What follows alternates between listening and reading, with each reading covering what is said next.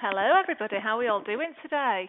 Um, I hear we've got some some varying weather in the chat, so keep the chat going. That'd be great. So whilst we um, get started, I'd love you to answer a question for me, and that is, um, what is the one thing that you'd really love your supervisors to be able to do that they're not doing already? So have a think, and then let's get that in the chat box. What is the one thing that you really love your supervisors to be able to do that they're not doing already? And whilst you're having a chat, I am going to just um, tell you what we're doing today. So today we're going to be exploring six things that you do need your supervisors to be able to do. Now I say really because let's be honest, there are loads of different things that your supervisors could be able to do and loads of different skills and behaviours. And for the most part, this really does depend on your company. However, today I am going to be zoning in on the six things that I've witnessed and, and um, observed that if you've just focused on these things and supported them to, to develop these these six skills, it would really reap a lot of rewards. So um, before I start, let me chat a bit about, for those of you, how many of you have actually been on one of my webinars just out of interest? And I'm gonna, yeah, I'm gonna come back to that in a second. Oh, we've got we, loads of chats. So we've got. I'll just jump back to the chat and just say. So we've got difficult conversations with their people. Give effective feedback. All of the above there. Uh, managing the workload to allow more time. Yeah, yeah, listen. Yeah, manage staff effectively. Is there, is there any more up there, Richard? Yeah, that's, that's brilliant.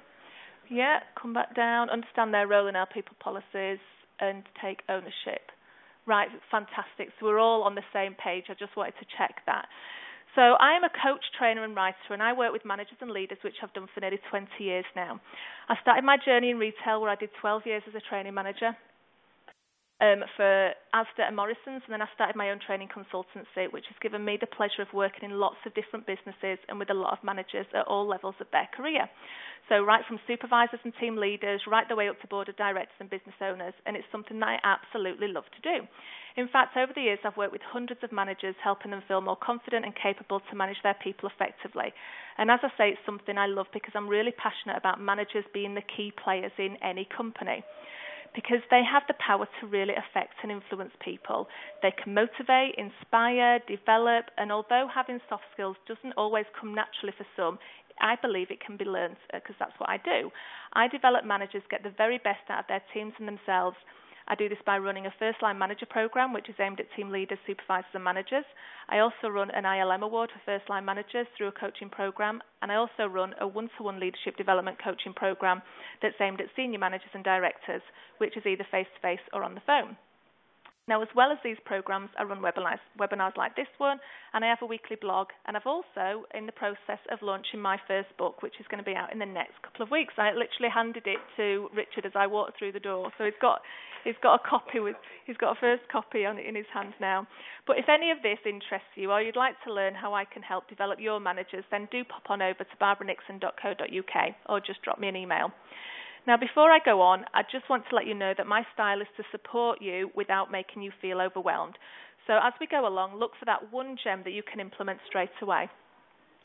And then once you've done that, you can move on to the next. And I like to keep these webinars really interactive, as Richard said. So please feel free to jump into the chat box, help each other out, chat to me, um, answer some questions, and, and um, join in with the exercises that I've got planned. Please feel free to have fun, um, and like I said, just ask me questions as we go along. Okay? Now, as I mentioned, I'm a big fan of managers at all levels, from supervisors up to business owners, because I personally believe that they hold the key to a successful business. So, my second question to you is why do you think that is? Why do I believe that managers and supervisors hold the key to a successful business? If you ever think and stick that in the chat box, that would be great. Yeah, um, let's have a look and see what it is. Yeah, how. Yeah, thank you. Um, because they empower their teams to achieve their potential. Yeah, they should lead by example because they have the influence. Absolutely, because they empower and motivate their staff. Because they deliver through their people. Because they're the people who can motivate staff to perform well. They're the closest to our people. Definitely You're all absolutely right. They are the ones interacting with your teams. Without people, your business would just be four walls and nothing would get done. We all know that we need people, and those people are spending more time in your company than they are with their, their families. So as a result, they need to feel engaged, motivated, empowered, and like they're adding value, like they're making a difference, um, appreciated, and just generally happy. And your supervisors and first line managers are the ones that can make this happen. They have the power, as you've all said in the chat, to make someone feel all of those things or the exact opposite. So, has anyone had an experience of working with a manager who made them feel miserable? I don't need to know their names, but just has anyone done that, where they worked with a manager who made them feel miserable? And if so, how did it actually affect you? So, again, just put that in the chat.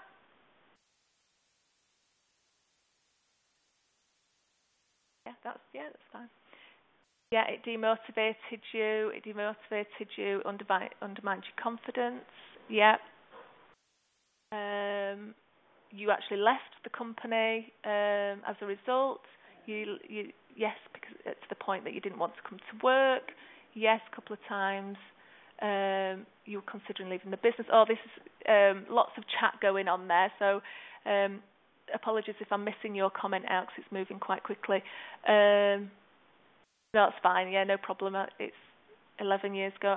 Um, yeah, it, it made you feel worthless. Yeah, as absolutely, I hear you. I've been in the same situation where, uh, and we're going back a long time now, but where I hated Sundays as a result of of Mondays following.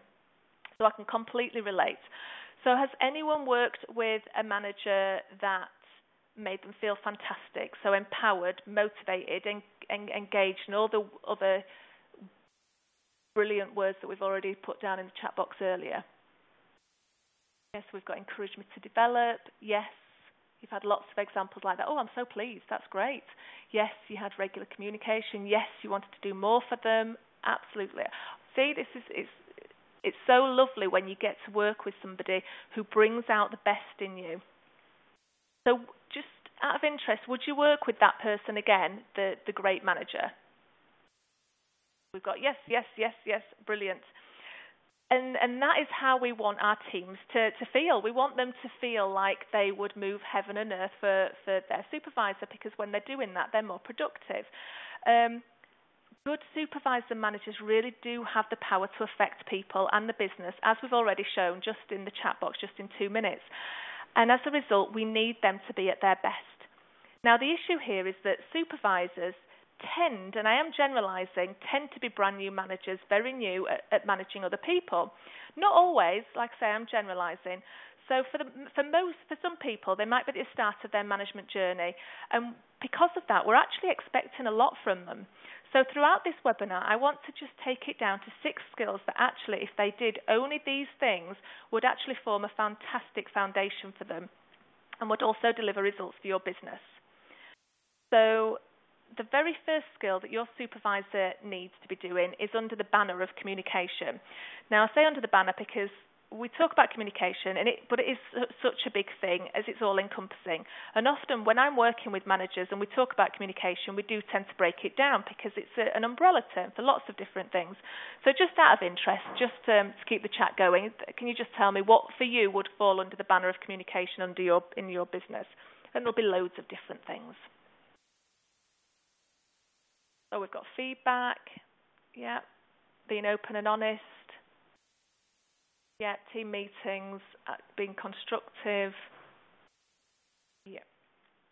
Uh, one-to-ones, having expectations and feedback, yes, absolutely.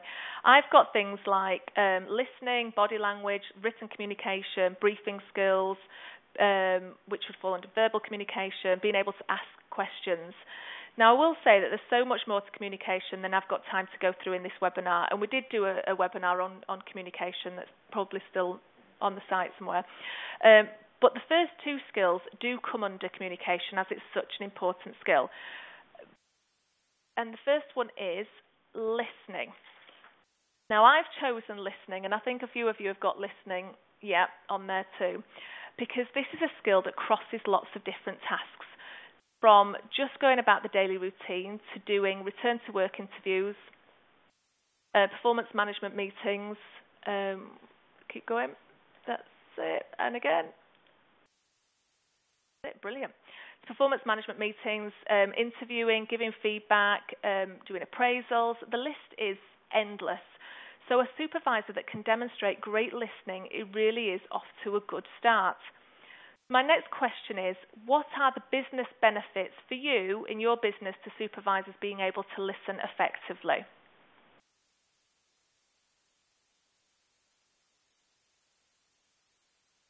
What are the business benefits to supervisors being able to listen effectively? Stop small problems escalating to big ones, definitely understanding real issues, understanding the needs of their team, feedback to the business, understanding what's going on on the ground. Yeah, all of those. Um, have I missed any? Uh, understand what needs. Oh, uh, give the right support at the right time. The team feels engaged. Oh, they're coming thick and fast now.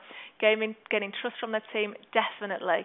The benefits there's, there's just more than I can say. They can learn from their team, they can learn from other people, they understand the business and what's important at that time, and as a result, more able to confidently share that information. Their team is more likely to feel empowered, engaged, respected, and valued. Um, it costs absolutely nothing. They come across as a lot more professional, confident, capable, and in control, which in itself are great behaviours to role model. And if they're doing it, they're more likely to be passing on this skill to their team and the people around them. Now, the problem with listening is that it takes a lot of practice and people get busy. And what usually happens is we actually get used to listening whilst we're doing other things. So let me give you an example. And just say yes if you've done this. Um, and I'm going to say yes. Have you ever carried on working at your computer while someone's speaking to you who needs you for something and you've said something like, it's all right, I'm listening, it keep talking whilst you're tapping away? miming, tapping away here. Yeah, yeah. We've got yes, yes, yes. I'll just do my little uh, uh mime here on my own. um, so yeah, I'm sure we've all done that. Guilty, yes, yes. Oh, we've got a never. Oh, I'm really pleased. Uh, I'm I'm not going to be able to say never because I've done that. Yeah, we we've both done that here. Uh, apart from one of us, you know, most of us have been there. We cause what we've, ha- we've done is we've adopted the habit of still working while someone's speaking to us, and we're trying to multitask our listening. But by doing that, we're not actually taking advantage of any of the benefits that we've already mentioned. So, my quick tip here is to stop what you're doing, face the person that's speaking to you, make eye contact, and focus on them. What I will say is that I know we're all busy people, and I'm sure you're thinking that if you did that every time someone interrupted you, you'd never get anything done. If you really don't have time to speak to somebody, simply be honest and give them a time to come back when they can have your full attention. So, just some listening tips for you to encourage your supervisors um, to do. Um, I'll just come back to the chat if that's all right uh, in a second. So just some listening tips for you to encourage your supervisors to do. Encourage them to make eye contact with the person that's speaking to, to them. Encourage them to really try and focus on what the other person's saying rather than thinking about what they want to say next. Ask them to think about their body language. So how are they stood or sat? Have they got a tendency to, to fiddle? And by that I mean, are they fiddling with a pen or clicking it? Are they tapping on the desk? Are they tapping on the keyboard? Are they messing about with their phone or even um, playing with their hair or stroking their beard. Um, ask them to try not to interrupt, even if they know what the other person is going to say, and just wait for them to finish. So these are just tips that you can encourage your supervisors to do as you're working with them. Now, in, just in the chat box, I just want to uh, to capture that. I really try to try not to, but sometimes I need to finish the thought first. Do you mean finish the thought of what you're working on? Is that what you mean? Um,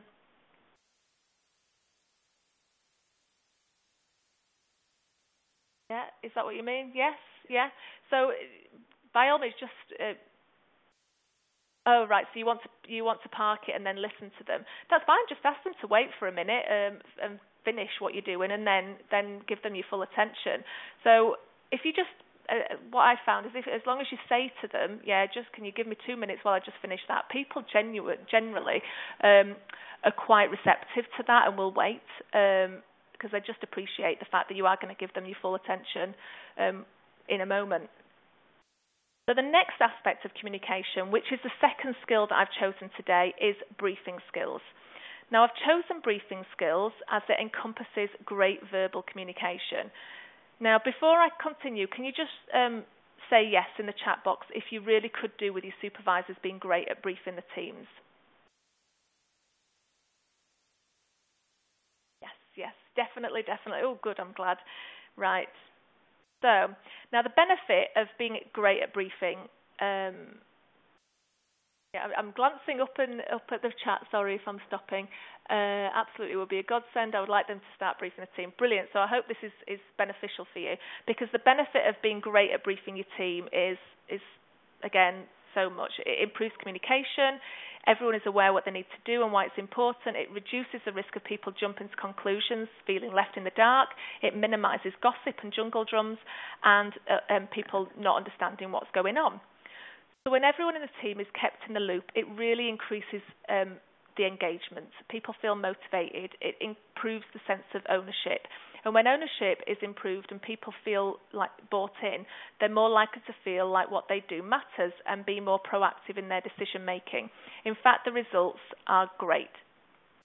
Just a quick note here is that when I speak to employees in, in different companies, one of the complaints that I hear is being kept in the dark and not knowing what's going on. And this is such a quick thing to resolve simply by improving your communication strategy. And a great way to do this is to have a daily briefing session where the team gather around for five minutes and then the supervisor just brings them up to date. Anyone brief um, have briefing sessions at the minute? I know we've got um, a couple of you have mentioned that you'd like to start, but anyone, yeah, do it at the minute? Fantastic. So things that, um, when you're looking at briefing skills, there are three things really to focus on that you can encourage your supervisor um, to do. So number one, so they they know exactly what they want to say. Number two, that they keep it brief, and number three, that they tailor it to who they're going to be speaking to.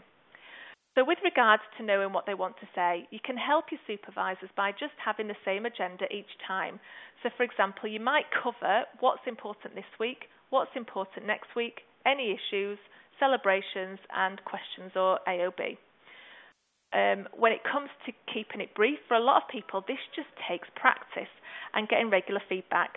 Most people are nervous to begin with. They might feel self conscious and they might feel like they're speaking too quietly, or they might even be quite monotone. But regular practice really does help. A top tip is to set um, an alarm on your phone or even a stopwatch for how long the briefing is going to take. So if it's five minutes, just stick it on your phone and stick to that. It's not meant to be war and peace, just top line information to keep everyone in the loop. And finally, think about what your team wants or needs to know and ask them questions throughout just to keep them engaged. You might also want to get other members of the team to cover different areas to mix it up a bit and keep it varied and interesting. Okay, um, any questions so far? Oh, I was just glancing at the chat box now. Some people already do that. We should do them, but they don't really happen. Any any questions? If so, just keep it putting it in the chat box. So let's move on to skills number three, which is, and I think this is something that somebody mentioned right at the very beginning, which is giving feedback. Now, this is an area that a lot of managers and supervisors really struggle with, and as a result, they shy away from it and avoid it altogether. But the thing is that as a supervisor or manager, giving feedback just comes with the territory. And there are times when it's easier and better all round to nip something in the bud rather than sweep it under the carpet, only for it to become a bigger issue later down the line. So I, I know a few of you have mentioned this already, but does anyone find that their supervisors really need help giving feedback? And what is the result of that if they do?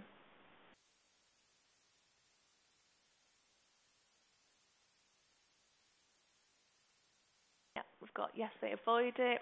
Yes, yes. Yes, what is the result of that? So if they are, uh, they're struggling to give feedback, um, they should do but use excuses not to. They avoid anything which could be deemed negative or critical. Yeah, performance issues escalate. Ah, so you end up doing it. Yeah, it's the elephant in the room syndrome. Great.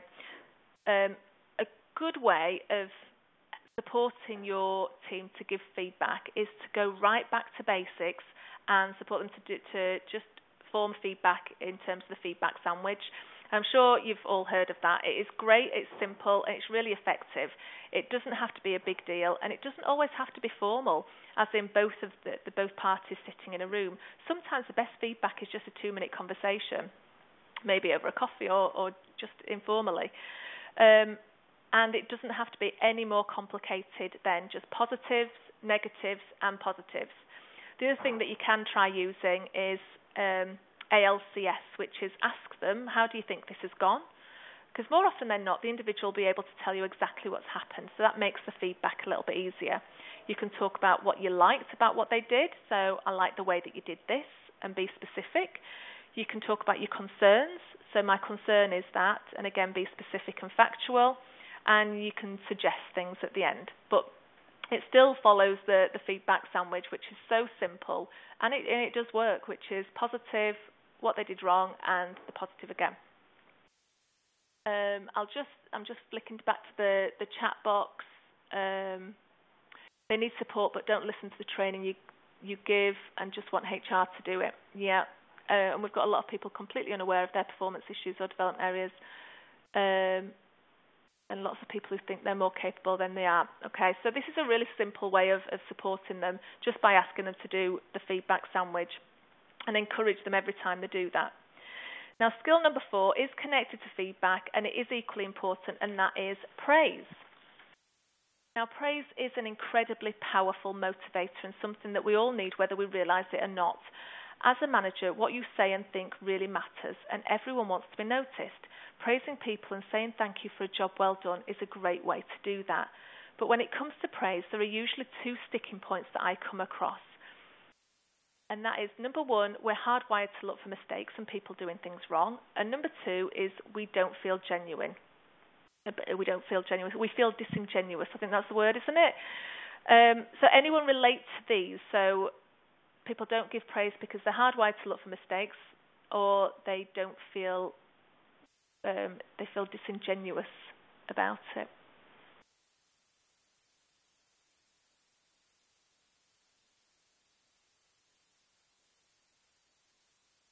So if I'll just wait for you to keep typing in the chat box. But if this is the case, um, firstly, try and look out for people doing amazing things. Now, I think Ken Blanchard said, start catching people doing things right. Now, this could be from going above and beyond um, to coming to work and getting on with it all day without any fuss, um, to just doing your day to day. And once you spot something, just say well done. Say thank you, say it and mean it. And when you do, it'll never come across as anything but genuine. And people will pick up on that and it'll go such a long way.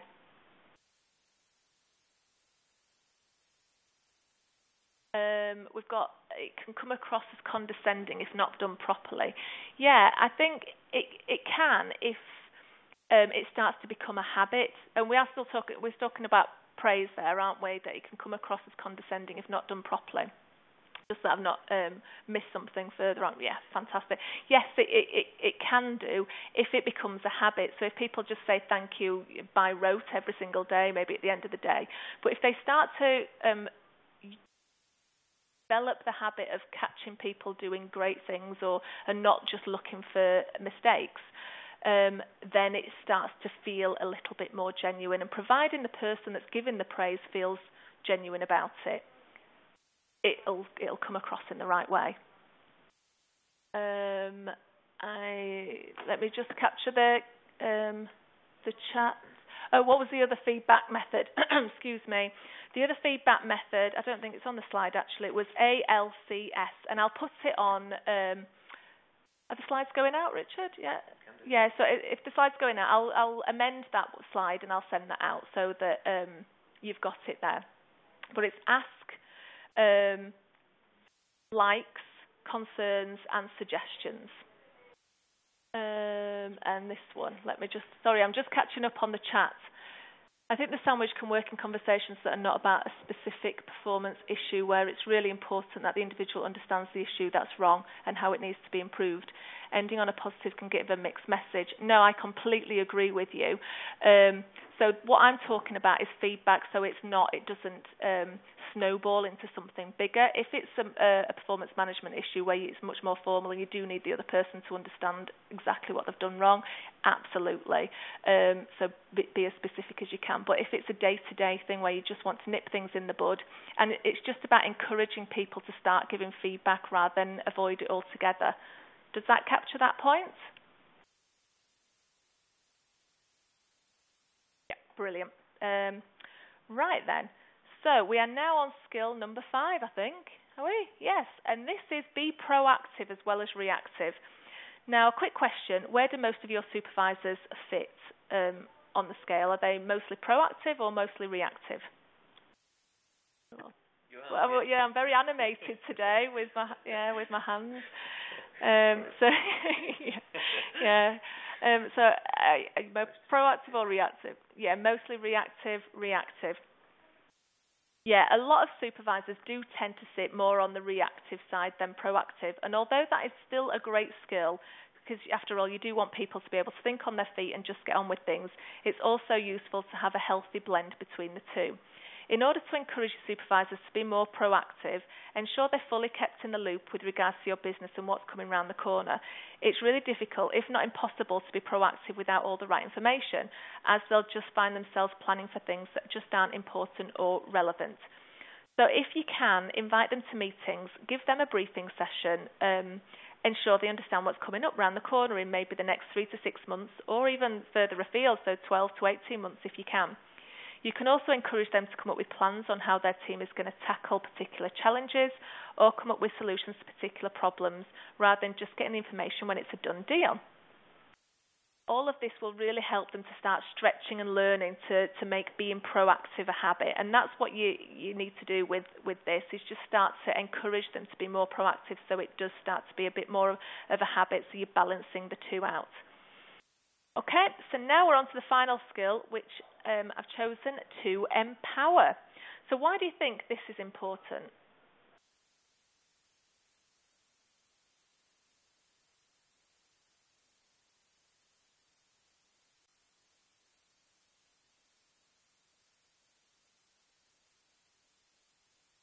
I'll keep talking whilst you're. Yeah, staff feel trusted. Yeah, it gives them a sense of ownership and direction. They feel confident and trusted. It builds capability, resilience, and responsibility. It increases their confidence in leading their teams, definitely. So, being able to empower a team is so important. It sends the message that their team are trusted, that they're valued, and that they are more than capable to do their job. And not only that, it prevents micromanaging habits to creep in. As well as this, it allows the supervisor more time to focus on other tasks tasks that, that really do need their attention rather than just managing their team all the time. You're absolutely right. It, it treats them as adults. The problem here is that empowering um, people does take time because it involves building up trust. And to be able to trust, you first need to get to know people. And your supervisor needs to really get to know their team and allow their team to get to know them. Trust doesn't just happen overnight. It takes a while to build up, as we all know, but there are things that they can do to speed up the process. For example, they can chat to their team, share information about their life in terms of uh, their career and how they've got there, and remember details about theirs, deliver on their promises, behave in a consistent manner, have regular one to ones, and all of that will really help to build up trust. And then obviously the next step is to show that, that they, tr- they you trust them by empowering them. So once someone knows how to do something, empower them to do it without checking up on them. So you can delegate tasks, develop people, coach them, and really help the team grow, all of which will help make their team feel empowered and as a result much more engaged. So these are the top six skills that supervisors should know that I've observed are actually really important. And just to recap, we've got listening, briefing skills, giving feedback, giving praise, being proactive as well as reactive, and empowering their team. I would love to hear any questions or thoughts that you've got. Um, please feel free to put them in the chat box uh, and I'll go through them and answer them as and when they come up. And I would love to know what your main learning point is. So, what is it that you want to go away and implement or really focus on for your supervisors?